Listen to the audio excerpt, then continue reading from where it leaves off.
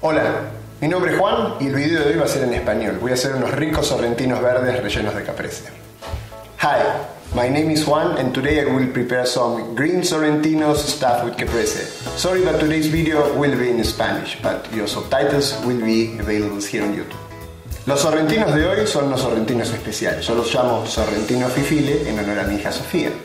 Van a ser de una masa fresca con pesto, con los que le va a dar el color y el sabor y los voy a rellenar con ricota, tomates escurridos y un poco de albahaca. Es un relleno caprese. Más tarde los voy a hacer con una crema de hongos para mostrarles qué tan ricos quedan.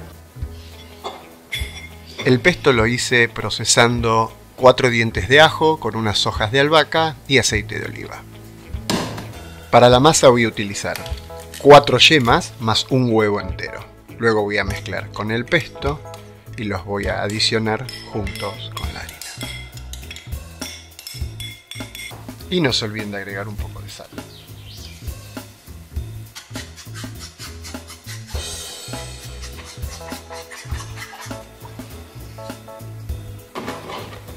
Aquí es importante agregar parte húmeda de los huevos hacia la harina suave, que se vaya hidratando la harina y vamos adicionando un poquito de agua a medida que vamos necesitando que hidrate más. Optimizar el pesto, lo que hago es agrego agua en el mismo contenedor y voy adicionando suave a la masa.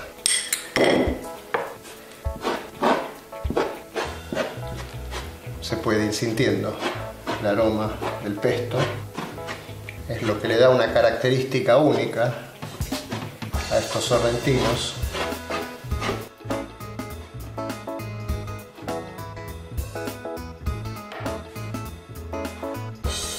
Bueno, y este es el tiempo de empezar a amasarlos. Vamos a ir despacio hasta que incorporemos bien en una masa homogénea.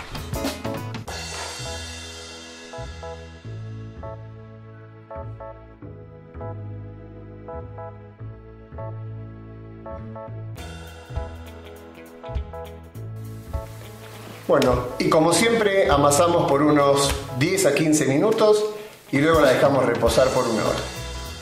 Mientras que descansa nuestra pasta y antes de empezar a estirarla, vamos a aprovechar el tiempo y preparar el relleno. Para eso vamos a usar ricota fresca, son 650 gramos de ricota fresca.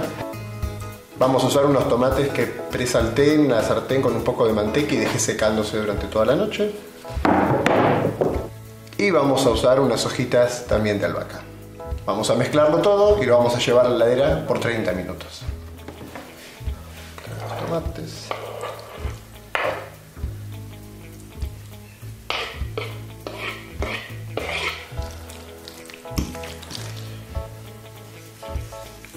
Un poco de sal.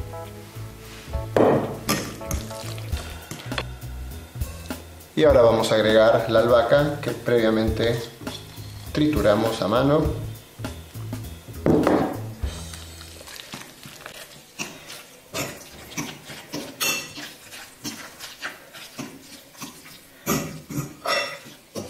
Muy bien, ya que nuestra masa reposó, vamos a empezar a estirarla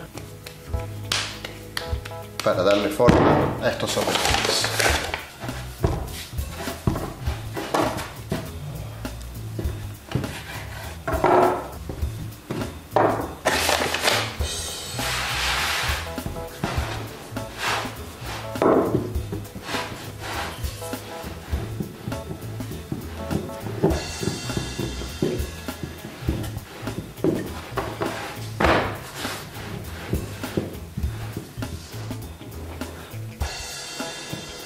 Uno de los problemas de estar de visita es que uno no se lleva la máquina de pasta para todos lados. Pero por suerte siempre hay un palo de amasar que nos ayuda. Eso sí, el trabajo de hoy va a ser más difícil. Tratemos de estirarla lo más pareja posible y dejándola cerca a los 2 milímetros de espesor. Necesitamos que sea lo suficientemente resistente por el tamaño que van a tener los sorrentinos. Bien, ya estiré toda la masa, lo que vamos a hacer ahora es proceder a rellenarlas y cerrarlas. Es muy fácil, no se asusten. Aquí voy a comenzar colocando el relleno solo desde la mitad, ya que al final doblaré por la misma para poder cerrarlos. Vamos a rellenarlos de una manera abundante y todos parejos. Vamos a gentilmente humectar los laterales, un poquito de agua.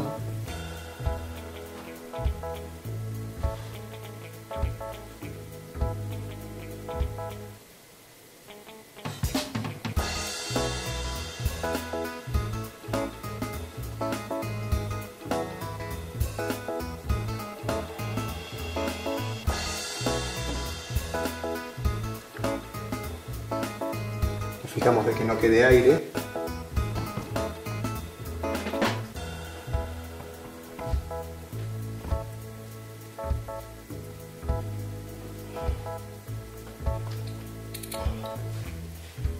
Y vamos sellándolos.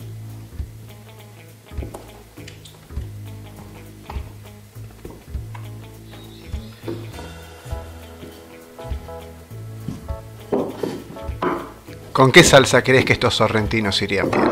Déjamelo saber en los comentarios y lo hacemos para la próxima.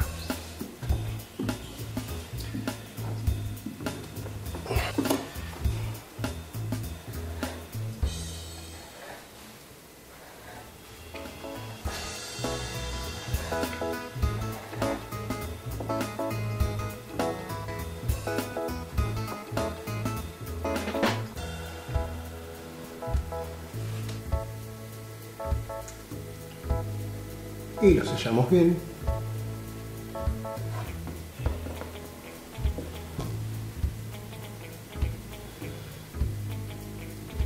Ahora voy a hervirlos por solo 3 minutos y voy a removerlos del agua y los voy a terminar en la cocción con un poco de crema y hongos, pero en este momento ustedes pueden hacer la salsa que más les guste.